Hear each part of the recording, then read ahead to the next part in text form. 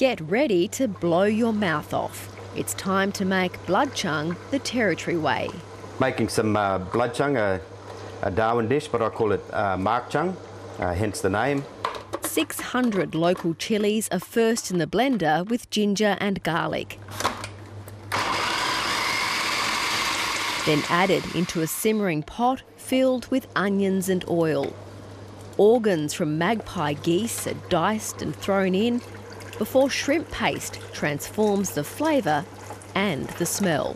This is where the flies will gather around, everybody clears the house, there's no one here except you alone in, in the kitchen. Larrakia man Mark Motlop has been making Blachan all his life and says it's become part of the Darwin experience. If we have a barbecue, the Blachan is always on the table. If you go to a wedding in Darwin, there'll be Blachan there. Someone will sneak it in. Blachan's history in Australia dates back to the 18th century when the Macassan seafarers from Indonesia sailed here and traded with Aboriginal people along the Arnhem coast for hundreds of years.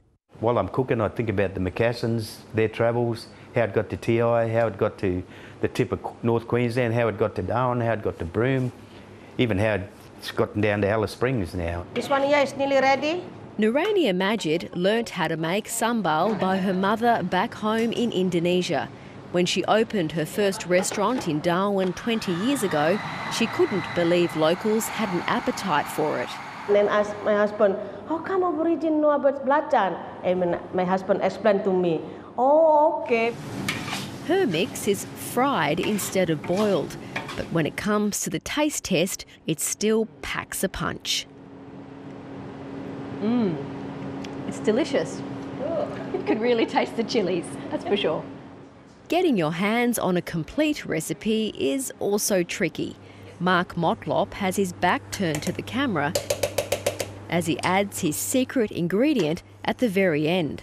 Good chef never gives away his full recipe, so that's the one thing that I don't let you know that I put in. And there are some rules too. Always cook it with a wooden spoon, eat it with a clean one, and never ask for the recipe. It is a bit of rivalry. Oh, he makes it better than you, or I make it better than you. Competition for an ancient recipe burning hot centuries on. Eleni Roussos, ABC News.